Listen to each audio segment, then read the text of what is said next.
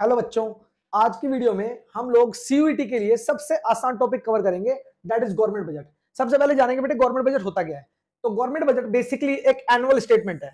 Sir what is annual statement बेटे annual statement जो किसी एक पूरे साल के लिए ड्राफ्ट किया जाता है। इसे बोलते हैं एनुअल स्टेटमेंट तो गवर्नमेंट बजट एक एनुअल स्टेटमेंट है जो शो करती है आइटम वाइज एस्टिमेशन बेटे बजट का एस्टिमेशन बेसिस होता है? यस yes, बजट हमेशा एस्टिमेशन बेसिस होता है of receipt and expenditure during a physical year यानी कि ये गवर्नमेंट के जितने भी गवर्नमेंट के होने वाले रिसीट्स हैं और गवर्नमेंट के होने वाले एक्सपेंडिचर है, उनका आइटम वाइज क्लासिफिकेशन है, जो एक पूरे साल के लिए बनाया जाता है, इसे बोलते हैं गवर्नमेंट बजट इसके बाद ध्यान से देखो गवर्नमेंट बजट को बनाया गया जाता है? इसके ऑब्जेक्टिव्स बेसिकली गवर्नमेंट बजट के सिर्फ़ दो ही ऑब्जेक्टिव है that is stability and second is growth but हम लोगों को इसको पाँच टुकड़ों में क्लासिफाई करना है. हमारा पहला टुकड़ा है reallocation of resources reallocation of resources reallocation of resources का मतलब रिसोर्सेज का बंटवारा। भाई, जहाँ से हमें ज़्यादा रिवेन्यू जनरेट हो रहा है, हम अपने रिसोर्सेज फ्यूचर में वहीं पर लगाएँगे ना? तो इसलिए गवर्नमेंट ये देखती है कि उनको रिवेन्यू कहाँ से ज़्यादा जनरेट हो रहा है और वहाँ पर अपने रिसोर्सेज को डाल देती है। फिर रिड्यूसिंग इनइक्वालिटी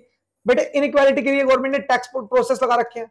तो इसको हटाने के लिए देखो, जो कम कमाते हैं उनके लिए कम टैक्स रेट जो ज़्यादा कमाते हैं उनके लिए और टैक्स रेट और ज़्यादा कमाने वाले पे और ज़्यादा टैक्स रेट ये एक रिड्यूसिंग इनइक्वालिटी का पर्पज था। और एक और, जैसे कि देखो गवर्नमेंट जो है, वो पीडीएस चलाती है। पब्लिक डिस्ट्रीब्यूशन सिस्टम बेटे, जैसे राशन कार्ड, गरीब आदमियों के लिए चीज़ें सस्ती रिच लोगों के लिए मार्केट में चीज़ें महँगी। ये सब बजट के अंदर डिसाइड होता है। फिर इकोनॉमिक स्टेबिलिटी बेटे इकोनॉमी की एक साल है, मान लो, इस इकोनॉमी में जो फ्लक्चुएशन है, वो बहुत ज़्यादा नहीं है इस फ्लक्चुएशन को रोकने के लिए इकोनॉमिक स्टेबिलिटी भी बजट के अंदर ध्यान रखी जाती है। फिर इकोनॉमिक ग्रोथ बट कंट्री की ग्रोथ हमेशा डिपेंड करती है प्रोडक्शन को राइज करने पे। तो जब भी कंट्री में प्रोडक्शन राइज करना हमारा मेन टारगेट रहेगा तो गवर्नमेंट बजट के लिए ये भी एक मेन ऑब्जेक्टिव रहेगा। इसके बाद मैनेजमेंट ऑफ़ पब्लिक एंटरप्राइजेस बेटा आपको पता है हमारी भारतीय सरकार की बहुत सारी अपनी ऑर्गेनाइजेशन भी है, जिनकी प्रॉपर मैनेजमेंट करने के लिए, क्योंकि उसमें एक्सपेंसेस भी बहुत सारे होते हैं इनकम भी होती है, उन सबको मैनेज करने के लिए गवर्नमेंट बजट बनाया जाता है। फिर है जी लास्ट में इंप्लॉयमेंट जनरेशन बेटे बजट के अंदर इंप्लॉयमेंट जनरेशन भी एक मोटी मोटिव रहता है हमारी भारतीय सरकार का, जिसके अंदर गवर्नमेंट जो है इंप्लॉयमेंट को ध्यान में रखते हुए बजट्स को बनाती है। इसके बाद आगे देखो। टाइप ऑफ़ बजट अब बजट कितने प्रकार का होता है? बेटे बजट को बेसिकली तीन टुकड़ों में तोड़ा गया है। Number one central government budget या जिसे गवर्नमेंट बजट भी बोलते हैं, इसको हम यूनियन बजट के नाम से भी जानते हैं। और second is state government budget. State government जो मतलब स्टेट स्टेट की गवर्नमेंट्स है, वो अपना, अपने अपने स्टेट्स का बजट बनाते हैं, उसे बोलते हैं state budget. And last is gram panchayat budget. बेटे, एक गाँव की कुछ पंचायत मिलकर बजट बनाती है गाँव के विकास के लिए, या वहाँ के एरिया के दस बीस गाँव के विकास के लिए। बेसिकली ये बजट के टाइप है, पर ये दोनों हमें बिल्कुल भी नहीं करने हैं। हमारे सीयूटी के सिलेबस के लिए सिर्फ़ सेंट्रल गवर्नमेंट बजट ही काम का बजट है। इससे आगे चलेंगे। कंपोनेंट ऑफ़ बजट बजट के अंदर कौन कौन से आइटम होते हैं? बेटा अभी अभी देखा था ना आपने? देखो देखो स्लाइड में देखो। First is receipts and second is expenditure तो बेसिकली दो ही तो आइटम कवर करने हैं। तो मैंने यहाँ पर दो ही आइटम कवर करे हैं। That is receipts and second is expenditure बेटे रिसीट्स दो प्रकार की होती हैं। एक रिवेन्यू रिसीट्स एक कैपिटल रिसीट्स ऐसे बेटे एक्सपेंडिचर भी दो प्रकार के होते हैं। एक revenue expenditure and one second is capital expenditure तो पहले हम बात करेंगे रिवेन्यू एक्सपेंडिचर की। बेटा रिवेन्यू एक्सपेंडिचर कौन सा एक्सपेंडिचर होता है? ध्यान से देखो। रिवेन्यू एक्सपेंडिचर ऐसा सॉरी पहले रिवेन्यू रिसिट के बारे में बात करेंगे। रिवेन्यू रिसिट से कैसे रिसिट होती हैं? जिससे असेट्स ना तो कम होंगी और लाइबिलिटी ना ही राइज करेंगी।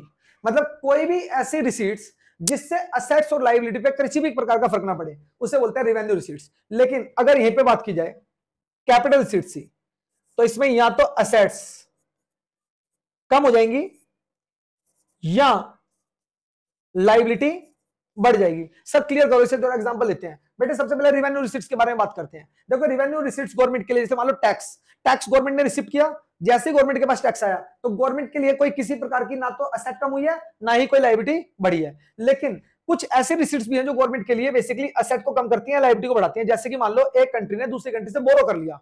बोरो करने से गवर्नमेंट की लाइबिलिटी बढ़ी। रिसीट तो आई, लेकिन उससे लाइबिलिटी इंक्रीज हो गई। या फिर मैं एक और एग्जांपल दे रहा हूँ। मान लो हमारी किसी दूसरी कंट्री के अंदर इन्वेस्टमेंट थी। हमने उस इन्वेस्टमेंट को सेल कर दिया। सेल करने से रिसीट तो आई, लेकिन हमारी असेट्स कम हुई। तो जब भी हमारी असेट्स और लाइबिलिटी अफेक्ट करेंगी, वो भी असेट्स का डिक्रीज होना और लाइबिलिटी का इंक्रीज होना। तो हमारी कैपिटल रिसिट्स होगी और अगर हमारी रिवेन्यू रिसिट्स कौन सी होती है, जिससे एसेट और लाइबिलिटी पे किसी भी प्रकार का कोई इफ़ेक्ट नहीं पड़ता है। इसके बाद हम बात करेंगे एक्सपेंडिचर की। बेटे एक्सपेंडिचर भी दो ही प्रकार का एक रिवेन्यू एक्सपेंडिचर एक कैपिटल एक्सपेंडिचर ये ठीक इसके रेसिप्रोकल जाएँगी। असेट्स ना ही बढ़ेगी लाइबिलिटी ना ही कम होगी। बट कैपिटल एक्सपेंडिचर में असेट्स या तो बढ़ जाएगी या लाइबिलिटी कम हो जाएगी। इन दोनों में से एक काम होगा। सर, एक बार क्लियर करो। देखो बेटा एक्सपेंडिचर के बारे में बात करेंगे। देखो गवर्नमेंट ने सैलरी पे की। अपने इंप्लॉइज की सैलरी पे की दैट इज़ रिवेन्यू एक्सपेंडिचर ना तो असेट बढ़ी, ना लाइबिलिटी घटी। लेकिन अगर गवर्नमेंट ने अपने द्वारा बोरो किया गया लोन पे कर दिया पे कर दिया तो लाइबिलिटी कम हो गई एक्सपेंडिचर या फिर हमने किसी बाहर की कंट्री के अंदर असेट्स परचेज कर ली। एक्सपेंडिचर तो है, लेकिन कैसा? जिससे असेट इंक्रीज होगी। इसके बाद आगे देखो। रिवेन्यू रिसिट्स के बारे में बात करेंगे। अब थोड़ा इनको डिटेल पढ़ते हैं, सारी रिसिट्स और एक्सपेंडिचर को। पहले रिवेन्यू रिसिट्स के बारे में बात करेंगे। रिवेन्यू रिसिट्स होती हैं, पहली टैक्स रिसिट्स और second is non tax receipts तो पहले हम टैक्स रिसिट्स को देखेंगे। बेटे टैक्स रिसिट्स क्या होती है, सुनो। First is direct tax and second is indirect tax sir direct tax कौन सा होता है?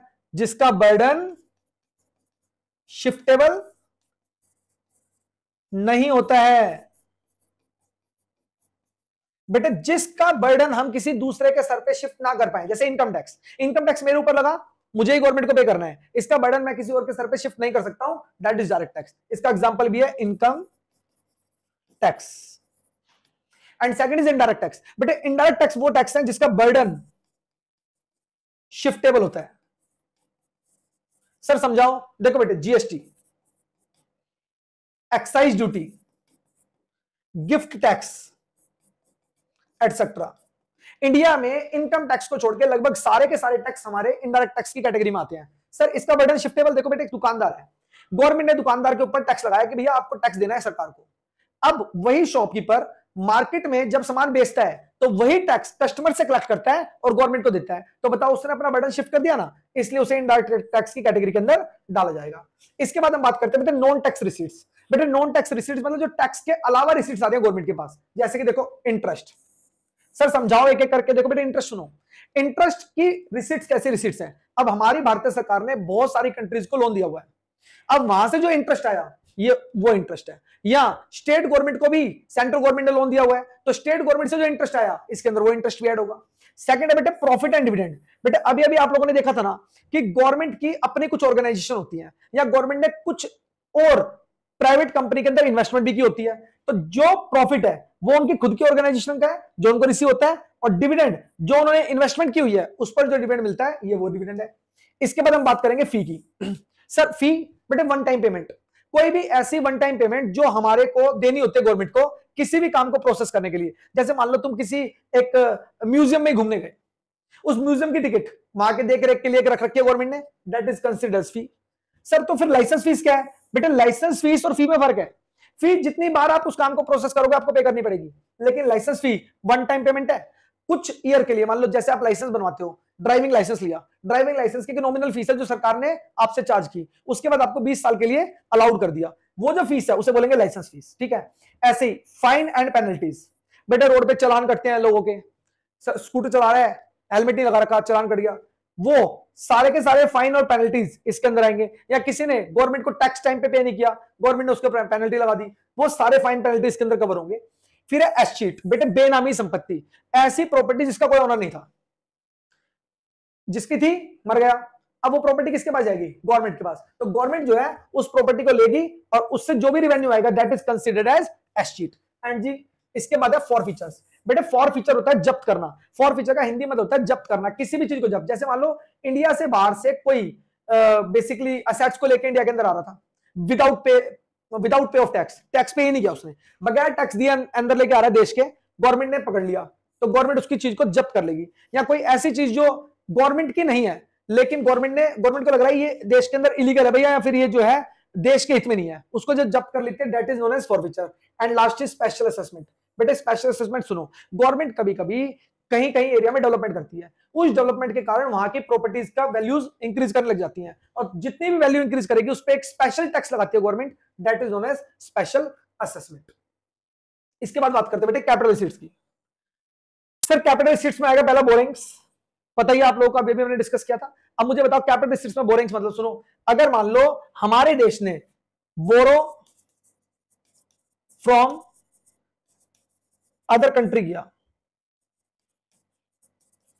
बेटे, जैसे हमने बोरो किया अदर कंट्री से, क्या होगा? हमारे पास पैसे तो आएँगे, लेकिन हमारी लाइबिलिटी राइज कर जाएगी, है ना? सेकंड देखो रिकवरी ऑफ़ लोन हमने किसी कंट्री को लोन दे रखा था, अब हमने वो रिकवर कर लिया। जैसे हमने वो लोन रिकवर किया, हमारी एसेट्स कम हो जाएगी, ठीक है ना? लेकिन वो रिसीट तो है एंड डिसइन्वेस्टमेंट अब मान लो हमने, मैंने किसी कंट्री के अंदर दो प्रकार की इन्वेस्टमेंट की थी पोर्टफोलियो और एफडीआई। अब यही दोनों इन्वेस्टमेंट मैंने सेल कर दी, उसी कंट्री में सेल कर दी। अगर मैं दोनों इन्वेस्टमेंट उसी कंट्री के अंदर सेल कर दूँगा तो मेरे पास रिसिप्ट तो आएगी, लेकिन हमारी जो असेट्स है, वो फॉल कर जाएगी, ठीक है?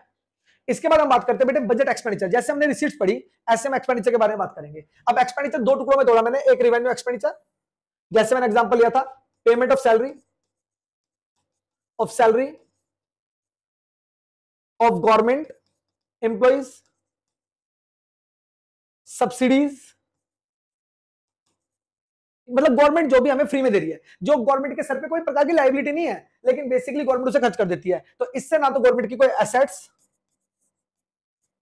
इंक्रीज करती और नो ना ही कोई लाइबिलिटी डिक्रीज करती। इन दोनों में से कोई भी काम नहीं होता। लेकिन कैपिटल एक्सपेंडिचर बेटे कैपिटल एक्सपेंडिचर से या तो एसेट्स राइज करेगी या लाइबिलिटी फॉल करेगी। देखो लोन एंड लैंडिंग्स हमने बाहर के देश को लोन वगैरह पे कर दिए एसेट्स बढ़ गई। है तो एक्सपेंडिचर लेकिन एसेट्स राइज करेगी।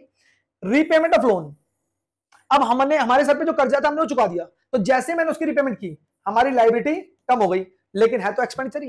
एंड थर्ड इज़ इन्वेस्टमेंट्स अगर हम किसी देश में इन्वेस्टमेंट करते हैं तो हमारी एसेट जो है, वो राइज कर जाती है। और एसेट राइज करने के कारण वो एक्सपेंडिचर तो है, लेकिन वो कौन सा एक्सपेंडिचर है? कैपिटल एक्सपेंडिचर इसके बाद हम बात करते हैं बजट की। बजट को हम तीन टुकड़ों में क्लासिफाई करेंगे। First is balance budget second surplus budget and third deficit budget sir समझाओ एक बार। बेटे बैलेंस बजट तब होता है जब हमारे रिसीट्स और एक्सपेंडिचर एक दूसरे के बराबर हो जाए। लेकिन अगर हमारी रिसीट ज़्यादा है एक्सपेंडिचर से तो उसे हम सरप्लस बजट बोलेंगे। और अगर रिसीट्स कम रह गई एक्सपेंडिचर से तो एक डेफिसिट बजट बोलेंगे। और ध्यान रखना deficit budget is a problem for a economy ठीक है? आगे देखो। अब हम बजटरी डेफिसिट के बारे में बात करेंगे, क्योंकि डिस्कस करने के लिए ये एक बड़ा टॉपिक है, ठीक है? तो ध्यान से सुना बजटरी डेफिसिट बेटे, पिछले सीयूटी के एग्ज़ाम के अंदर आप लोगों ने इस टॉपिक से दो या तीन क्वेश्चन देखे थे। तो आपको ध्यान देना है इस पे जरा। देखो बजटरी डेफिसिट देखो इलेवन ट्वेल्थ में आपने जब भी बजट पढ़ा तो बहुत सारे कॉन्सेप्ट में हमने बजटरी डेफिसिट को इग्नोर किया। तो बजटरी डेफिसिट को इस बार हम कंसीडर करके चलेंगे। देखो टोटल एक्सपेंडिचर जब ज़्यादा हो जाता है हमारी टोटल रिसिट से तो उनसे बजटरी डेफिसिट कहते हैं। और बजटरी डेफिसिट को हम तीन टुकड़ों में क्लासिफाई करते हैं। First is revenue deficit fiscal and primary deficit बेटे sir but sir what is revenue deficit बेटे सिंपल है। रिवेन्यू एक्सपेंडिचर में से अगर मैं रिवेन्यू रिसीट्स माइनस कर दूँ तो हमारे पास रिवेन्यू डेफिसिट निकल के आ जाएगा। सेकंड अगर सर फ़िज़िकल डेफिसिट क्या होता है? सर टोटल एक्सपेंडिचर में से अगर मैं टोटल रिसीट्स माइनस कर दूँ नेट ऑफ़ बोरिंग बोरिंग्स को हटाकर तो फ़िज़िकल डेफिसिट निकल जाएगा। और अगर मैं फ़िज़िकल डेफिसिट में से इंटरेस्ट माइनस कर दूँ, वो भी लास्ट ईयर वाला तो हमारे पास प्राइमरी डेफिसिट निकल जाएगा। सर ये बात क्लियर नहीं हुई बेटा मैं क्लियर करता हूँ, देखो। मान लो, एक बैलेंस्ड बजट है। इस बैलेंस बजट में दो चीज़ें होती हैं।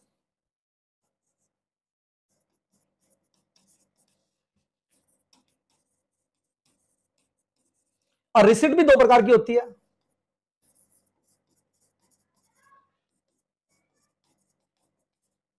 एक्सपेंडिचर भी दो प्रकार का होता है।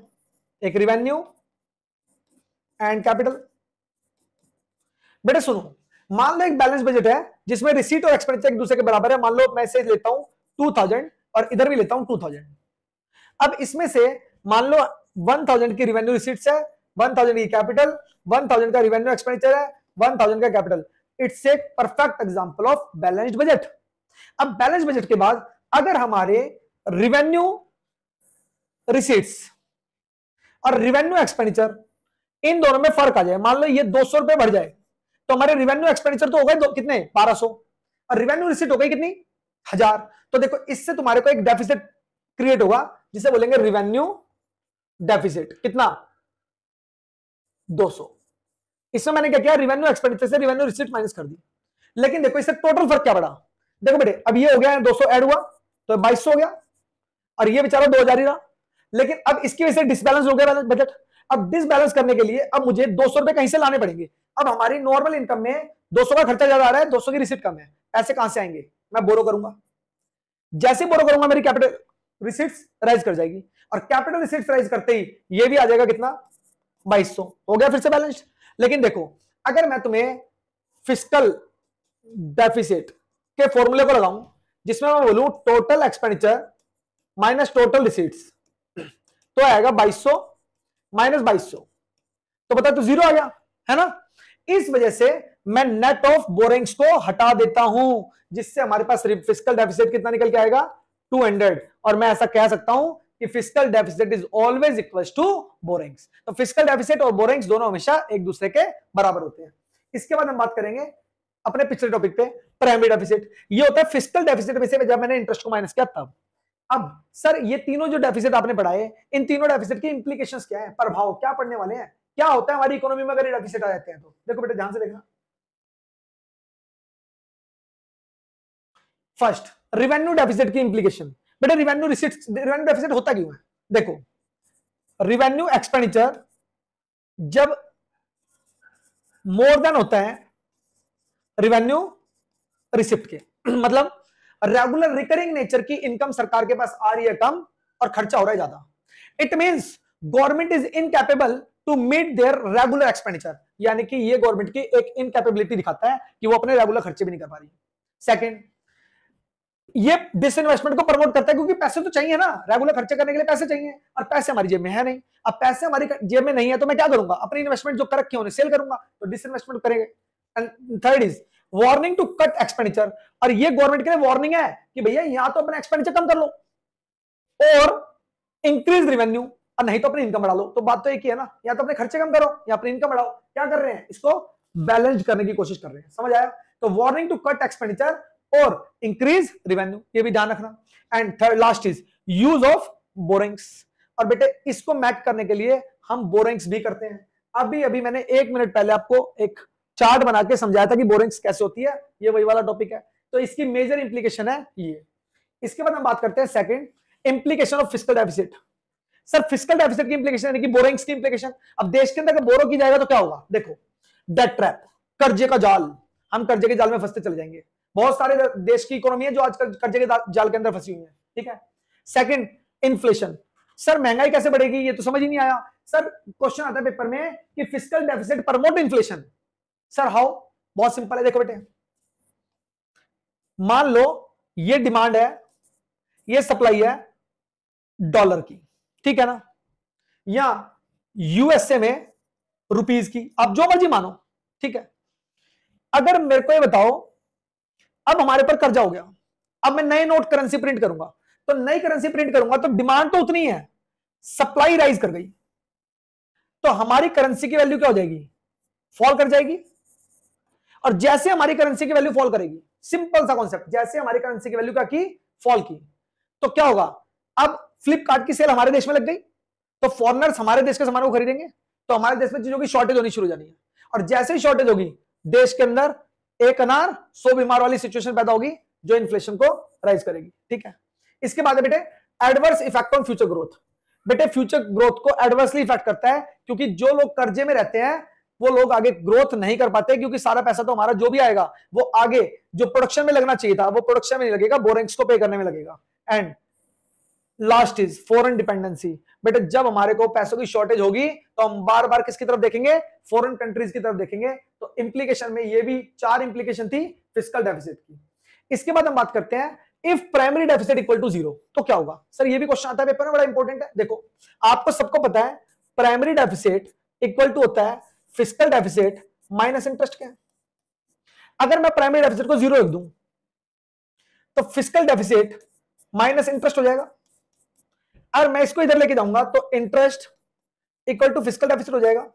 इट मींस ये वो सिचुएशन है जिसके अंदर गवर्नमेंट को जो बोरिंग्स है ना बोरिंग्स ये सिर्फ़ इसलिए करनी पड़ रही है ताकि वो अपना इंटरेस्ट पे